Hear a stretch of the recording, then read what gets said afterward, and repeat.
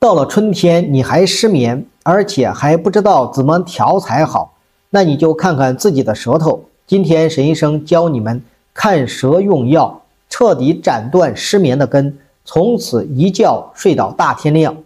前段有个粉丝找我说，现在别人都在犯困打瞌睡，就他还失眠，吃那些养心助眠，比如归脾丸之类的药也没啥用。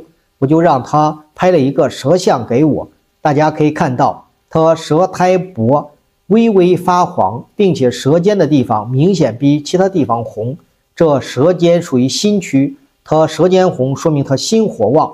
在中医上，想睡好，你心神得安定。但现在心火那么大，心神被烧着，怎么安稳呢？所以睡不着是很正常的。另外，像他这种心火旺的人，平时还会出现心里烦躁、嘴里发渴，以及小便颜色发黄，容易得口腔溃疡的情况。那这种人想调失眠，肯定不能用归脾丸，因为归脾丸这个药是补气血的，你本来就有火。越补火肯定越大，这时该做的就是清心火，心火灭了，心神才能安定，所以得用天王补心丹来调理。那什么时候可以用归脾丸呢？我们看下面这个舌象，我们可以看到这舌中脾胃区还有舌尖区的地方都是凹陷的，一眼看上去舌头颜色不红，有点淡白，这就是因为脾胃虚，气血生成不足了。那气血不能向上滋养舌面，舌头颜色肯定不红。再加上气血不能滋养心神，所以也容易失眠。当然了，可能有的人舌头两边容易出现齿痕，不过情况都是差不多的。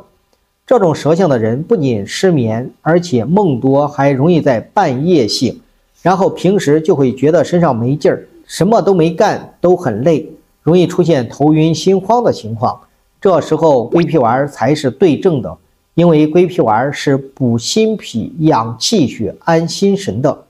所以你要是这种舌象症状也跟我刚才说的一样，那你就可以用归脾丸来调理。反正这失眠的种类挺多的，你用药前肯定要先弄清楚自己属于哪一种。那以上就是今天分享的内容，我们下期再见。